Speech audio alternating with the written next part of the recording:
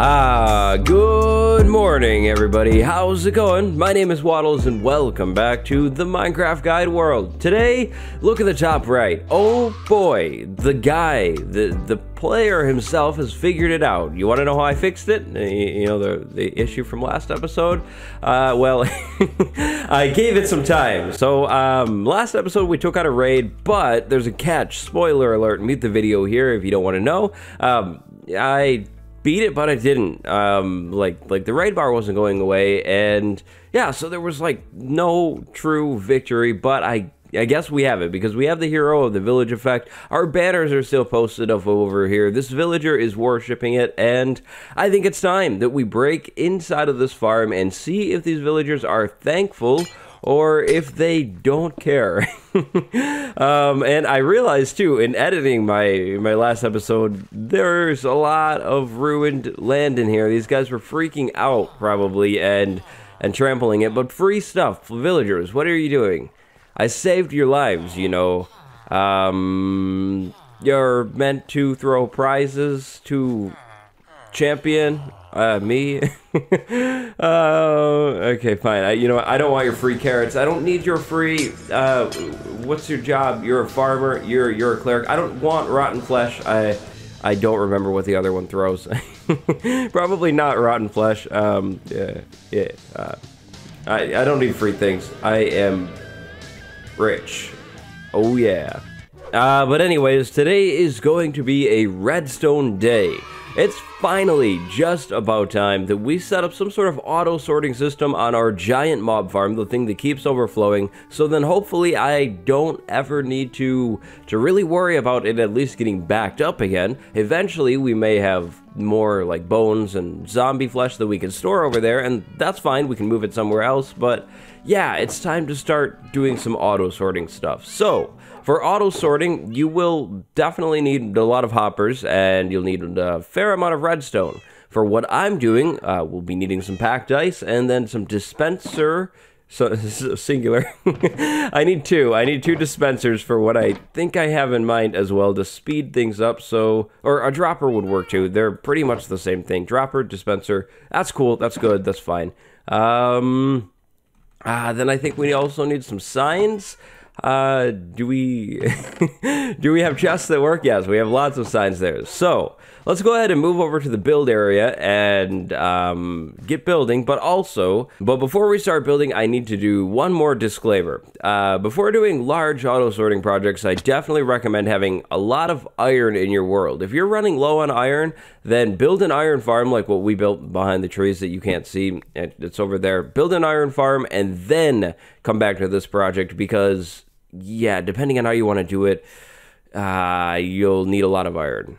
Now, us, on the other hand, we have a lot of iron, but we're actually going to conserve some iron too. So first, the goal. Well, uh, we have this thing in the sky, which is wonderful, and it fills this chest up very, very fast. The plan is to have an individual sorting chest for arrows, for bones, for uh, rotten flesh, string, uh, gunpowder, and then I guess like an overflow for all of this stuff, just random things at the end. And yeah, I think that's how that'll work. So uh, now I'd like to have a storage wall over here, kind of I guess, backed up to our auto smelter over there. So we basically first need to figure out how we can get items from here over to there efficiently. Now, of course, we could just run a hopper line because we actually have like a lot of iron, but that's not really efficient. There's a definitely a better way to do that, and that's where we should definitely start today's episode. Ghost blocks. I love them. uh, there we go. Okay, so we've broken into this area. Uh, now we need to go ahead and do. I think I'd like to do, um, let's say this and this. We'll remove those two. Then we'll go ahead and remove that and remove that. Then uh, some of this as well, and this and this and uh, uh, that and that. Okay, so let's start with um, placing this. Uh, we need dropper dispenser thing, and we need hoppers. Oh, and you probably also need a block to do redstone on. We'll use stone or stone bricks today. How about that? That sounds nice. So I don't ever mess with my redstone when I'm digging in this area because I plan on definitely coming back in here and remodeling things if we don't end up doing that today. So some redstone blocks. Now, first we need to place a dropper facing out. Uh, we, we need the dropper to go this way. There we go. Then we need a hopper going into that dropper. Now, behind the dropper, we're actually setting up the exact same circuit that we set up uh, a few episodes ago when we were doing our iron farm. So we need to place a comparator and turn it on just like that. Then we'll need a block there um, hold on. All right, let's try that again. So start with a comparator coming out of your dropper or your dispenser, and then turn it on. Then after that, place a building block and a redstone dust. After that, we need another building block and a redstone dust. Then we need a block right there, which we already have, and a block right here. Now after that, on the last one, I did a comparator right here, but I think, and this is big thing here, I, but I think I can place a repeater uh, like this no no um like that there we go and then there yes we can do a repeater so that's good repeaters are a little cheaper than comparators. So now we have that circuit set up now we need to replicate the exact same thing on the other side. So we need um, dropper or dispenser, whichever one you are this time, and then that thing, and then clear this out, and I need to build that exact same circuit. So again, comparator, place, click. Um, now we need building block, messy inventory, place, uh, remove, place and then uh, another block here uh, that thing there and then we need this thing here that thing there and then there. Okay, so that should work too, right? Um, yes, it does. Okay, good. So this is how we'll move the items out of this immediate area, like basically the collection area. Now, what we need to do is uh, create a way to actually move these items over to where we want to store them, which is over here. We can do this very, very easily with either A, hoppers, or B, even easier, an ice path. So what I mean by this is basically we'll be using water and ice to move our items uh, faster and cheaper than than our hoppers ever could. No offense, hoppers, you're wonderful and very useful and, and many other good things, but yeah, they're they're just kind of expensive and slow. So uh, what we want to basically do is create uh, an ice path that goes over to where we want to store our things, but all the way over to one side of where we want to store our things. So what I mean by that is I think our whole storage thing will go probably from like here all the way over to wherever it goes. And that means our ice path thing needs to go probably to like here. I, uh, am I in line? No, uh, probably to like here. Aha, there we go. So We'll have our ice go to there, then we'll turn it and move our items that way. So that means we turn the ice road and, yeah, continue it this way. Now, I don't think I necessarily finished my ice road, but after placing the ice road, we'll need water and sign. So we place a water source down, we let it go, and then we place a sign. This is just like what we did on that villager transport road, except this time, this road will actually move items like very, very efficiently. So we have water sign, then after that, we would do another water, uh, but we're right on the turn already. So what we're going to do is this and then a second sign and uh, we'll test it and see if our items would actually be moved. So, oh, I'm too close. Oh, and that. uh, yeah, you're going to have to put some walls on this things too. Um, all right, does the dirt? Okay, the dirt does make it over, so we can do that. That's good. So that's how we'll turn our items and move them all the way over to wherever we need them to go. Now, at the end of this, which I'm not sure where the end will be quite yet, I don't know if we've gone far enough yet, but at the end, we'll need a soul sand elevator to move the items up because we want our item storage thing to be not underground, but above ground where we can kind of just walk right up to it and grab whatever we need out of the thing. Oh, oh, oh, I completely forgot. By the way, I have the hero of the village effect, which means big discounts. Oh, I forgot in the beginning. you see, before each episode, I kind of think about, okay, so I should do this and this and this and this. And one of those things was to see if this effect transfers over to this village over here. I don't know if it will, but uh, do you guys have markdown prices? Uh, are you selling? Yes, you do.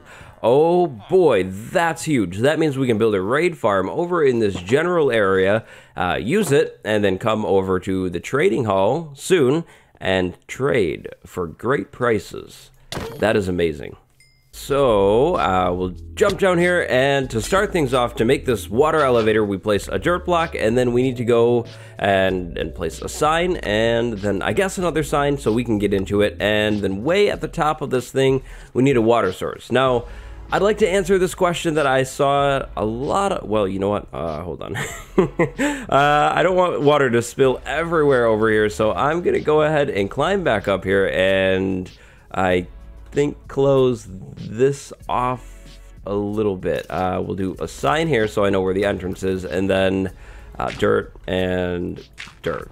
But anyways, I've seen quite a few comments asking me about why I place kelp when I do these things, and I'm placing kelp here before I put the soul sand in because if I put the soul sand in, then the, uh, the bubble column wouldn't actually be activated. Sure, we have a lot of water in here, but on Java Edition, you, you need to make water sources, not just water flowing blocks. On Bedrock, it's completely different. You can just place uh, soul sand and the thing will work, but unfortunately, we're on Java, not Bedrock. So there we go. We have that. Now, I mean, it looked like the items would make it all the way into the elevator. Uh, yeah, I think we're good. Usually, well, you know what we'll do? Just to be safe, we'll place a sign there, and then we'll do another water bucket right after that sign. And that is boom, just like that. So now items will definitely be moved over into our bubble column and then moved up. So that's good. Now, the items are being, or will be being moved up to that point right there. Now, from there, we actually need to kind of do the same thing again, in a way. Uh, after this part, now we need to create um, like an ice path that goes over this way and over into our item storage system. So the storage system, I think, can start probably right. Um, I mean, really, we could start it right here um, with like hoppers and stuff. Uh, because I'm, I'm thinking about this now, right? And this isn't going to be symmetrical necessarily because I wanted to do like maybe like one, two, three things, or maybe we'll do two for each one, like maybe two gunpowder, two, two bone, string, and yeah, it's just going to go past this thing. um, hmm, um, is it a problem? You know, I gotta, I gotta, uh, hold on. Uh, okay, so we have two gunpowder, two string, two bones, two arrows, two rotten flesh, and then the random overflow chest. I think that's everything. So how bad is it? Uh, oh, oh, it's only one off, which which isn't bad because I think this one starts. Oh, oh, okay, it's two. It, it's two off. Hmm. Is that a big deal? No, I don't think so because it, it's fine. it, it's not a big deal because I said so. So we're going to just kind of go ahead with it. it it's cool. Uh, now I actually need to go ahead and remove all these chests and make a lot of hoppers. Like, like a lot. We need many. uh, no specific amount for this step, just, just like many. Well, here, in fact, for each chest that we need, we, we need two hoppers actually. So yes, specific amount. That means we need 22 hoppers plus a bunch of chests as well. Uh, am I to have to take a... Why do I keep hearing skeletons, by the way? Are they shooting right as they fall? I think that's what they're doing. Oh.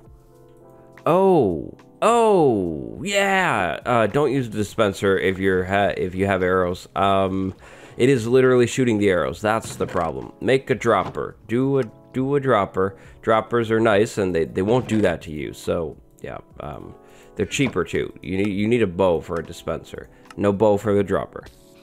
And now it is finally time. unfortunately, well, but fortunately, it's good, but it, but it's also bad. But it's not really bad at all. Uh, we're gonna we're gonna dig into the iron farm, take some iron out of this thing, which it should have. Yes, it does have a little bit more than we saw last time, so that's good. And that is exactly why this project has made no progress until today. I was waiting for the iron from the the iron farm. That's a very important step. Okay, okay. I had to do it. I had to do it to him. The non-symmetry was really bothering me, and I want this build to look really, really good. So I went ahead and uh, took this water line out and moved it, like changed it, so it would go over a little farther and then go up still and be more symmetrical. So now the auto sorting business. Um, what do we do here? What's going on? Well, first things first, we have our whole water stream going over to where we need it to go now. Now we need lots and lots of, of hoppers. This is where all of this stuff comes in. Now the placement of your hoppers in this part is very, very important. If you don't get this right, then it's not going to work. Uh, so what you're going to want to do is have like your ice stream going over to your hoppers and then your hoppers need to be placed facing forwards. Not into a chest but i just have these here for now so i'm going to use them uh, but placing forward so make sure the bottom lower part of your hopper looks like that. Now after that row of hoppers you need another row of hoppers below it this time however the lower hoppers can actually go into a chest and they should so your top row of hoppers have zero chests whatsoever. This top row of hoppers is basically acting as your your sorting system. The the hoppers that are going to pick up the correct items and let the non-correct items like move over them. So for example, let's say I was storing, you know, like bones, arrows, uh, rotten flesh, and gunpowder. Uh, once we get our whole sorting system in, these hoppers would only pick up those items, and then something random like say string would go right over these hoppers and move on to the next one. So that's really how the hopper should be placed and how that's kind of working. Now we do need a redstone circuit on this thing, but before we do that, we actually need to talk about uh, placing some water in here too. So this is all good and all, and and it it'll work once we get it in. But we also need to to have water actually move across these hoppers, so we can continue to move the items that aren't being picked up right over these hoppers. Now, technically, you could be doing this with like another row of hoppers. You wouldn't really need to just do like a water stream, and the other row of hoppers would be maybe even a little more efficient at least when it comes to items getting caught in hoppers. With this method that we are using, some items will actually get caught in the hopper's hitbox, and it's one of those things where it's kind of like, it is what it is. Like, if we lose a little bit of items on some of these hoppers, because hoppers actually kind of sink down a little bit, uh, again, it'll just kind of be what it is. It's not obviously ideal, but I, even though I have an iron farm, I don't want to use a million iron on this thing. I just, I, I don't like that. uh, so basically, we want to position our water streams going across these hoppers so then we can place a sign uh, like over some ice and then even more water. If, if we don't have this set up correctly and we end up with a sign over a hopper, the, the items will not continue to move. Ice is slidey, hoppers are not slidey. So uh, we need to have our line go all the way over to here. This is the last bit of where our hoppers go. And remember, these chests aren't uh, in the right spot. So, so yeah, I'll fix that. But yep, this looks all good now. So now I need a border, which for now is stone brick. I, you know what? Um, should I use something better looking? Mm, oh, yes, definitely, because we can't open that. I need glass. Glass is the way.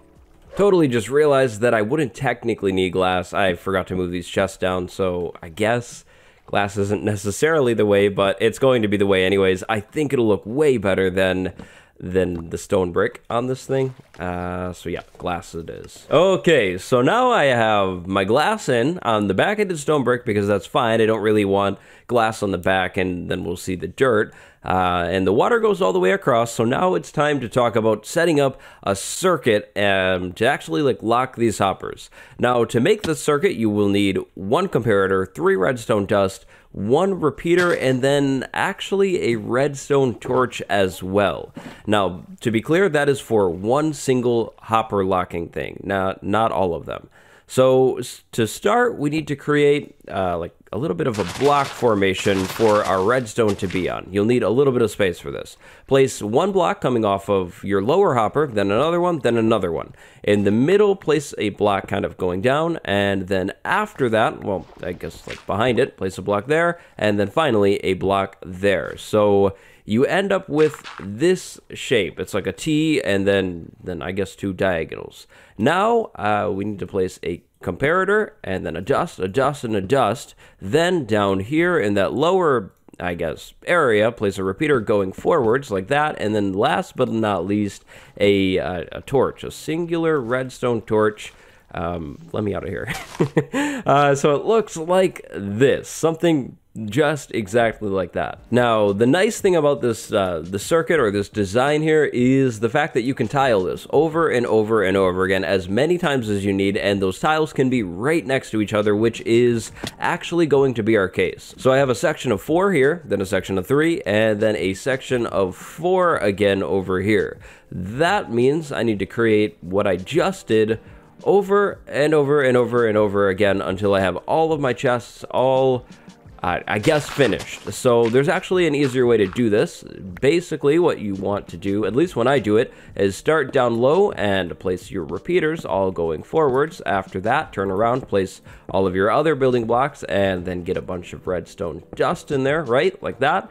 Then go ahead and uh, fill in all of your other blocks, so that whole T shape like that and then now we need comparators which that can be the tricky part in all honesty if you have your water in here first. So maybe maybe we'll go ahead and just cut our water off and make that stop for a little bit. So I can do that I guess. I kind of forgot about that so we'll do that and then we can break these. Uh-huh comparators, nice, and then dust. All in here, filling everything in. And then last but not least, don't forget about these torches too. There we go. So that's good. That's one area hooked up and good to go.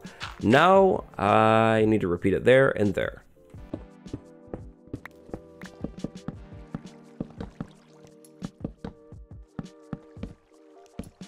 Okay, well, I have everything all wired up and we're good to go. This comparator is on because there's an item inside of there. Now we need to actually talk about locking these hoppers, so actually putting items back inside of those hoppers. To do this, you are going to need 41 of whatever item you're trying to sort, so... Uh, what do we want to start with? Do we want to start with bone? I, it doesn't really matter. Um... I, I know I want to have this chest on the end for reasons. Uh, that's the random one. Um, let's start with zombie flesh, just just because why not? So we need the zombie flesh, and then we actually need some placeholder blocks. Uh, in terms of an amount, I think you'll need five placeholder blocks total. So inside of this this first hopper here as the items get picked up because it's linked up uh, but inside of the first hopper we need to place 41 of whatever item we want sorted and then some placeholders. So placeholders 41 now anytime a rotten flesh moves over that first one, it should be funneled down into this chest. So we'll clear the chest out, test it again. Rotten flesh, there you go. You're picked up and put into there. Now, other things, let's see if um, like bones come by. Other things should basically, yep, you pass right over and move over into the next area. So that's how that all works. Now, we are going to have two rotten flesh and then like two string and then like two and two and two and two for everything because we have a lot of things and stuff will fill up very, very quickly. But there's another way that you can do this too. You can actually expand this thing downward. So uh, we're going to do that in a minute, but basically I can keep making more and more chests going down towards the ground. So you don't need to do this whole doubling up thing. It's just kind of how I'd like to do it. So I'll go ahead and lock another hopper just to show you here. So we need 41. This is the hard part. I try and like split stacks and be and be clever, but it doesn't work. No, so 41. There we go. So that is locked as well. And in the future, we should notice nothing but rotten flesh moving into this chest and into this second one. Now, what should your placeholder blocks be? That's kind of an important thing. Your placeholder blocks should be blocks that will never go across this sorting system. I will never have cobblestone slabs, I guess, unless I break those platforms and move across this sorting system. So those are my placeholders. If I started to throw cobblestone slabs into this thing, it could all get messed up. So yeah, make sure your placeholder blocks are blocks that aren't in your sorting system at all. But there we go. So that's all set up. Now we should only notice uh, string go into those ones, and then again, rotten flesh there. So now random items should be moved all the way down here. And by the way, in case I didn't make it clear enough, your sorting is in the top hopper, not, not the lower one that's going into a chest. It's in the hopper that does not go into anything at all. If you do it in the other hopper, then it, it, it, won't work. It's, it's your item should probably move instantly into your chest. Also, again, your hoppers need to be placed facing the right way, or it's also not going to work. Okay, so gunpowder is the last hopper that I'm locking. Finally, last but not least, we have this random runoff, like, excess overflow chest. What do we do with that one? Well, actually we do nothing. We will not lock this hopper, we will not put anything in the hopper, we'll leave it alone just like that. That means technically we don't even need this final circuit here because the circuit will actually hold things inside of this hopper and we don't really want that. So we'll go ahead and rip the circuit out in a minute but other than that, everything else is locked up, doubled up with um, each item and ingredient. So now I need to basically expand this thing. And items are, I think being oh that's right that's right. No items aren't even being completely sent over here yet. We need to fix that. I almost forgot. So we have items funneling into this chest still, and that is not desired anymore, which means we need to replace our hoppers to have them all go to these droppers now, and then we need to make sure we have a solid wall in here so items don't get thrown up onto this. But it is time for me to go ahead and reposition, reconfigure all of these hoppers to go into this corner here and the other oh okay good uh, and the other corner and send everything off to our new storage system so wish me luck hopefully I can figure it out I I believe in myself. and then I'm going to kind of expand the storage a little bit too because it is way too small right now. That would fill up like instantly.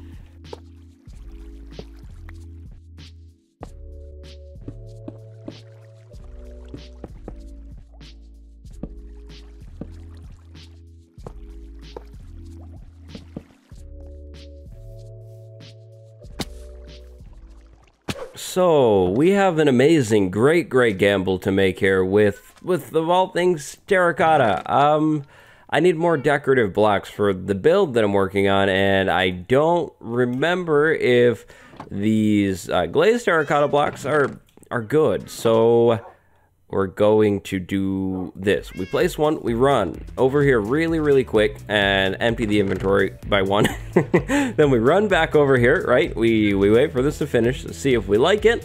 Uh, yeah, that one's kind of cool. Actually, this one, uh, wow, that's really cool. That might be the one.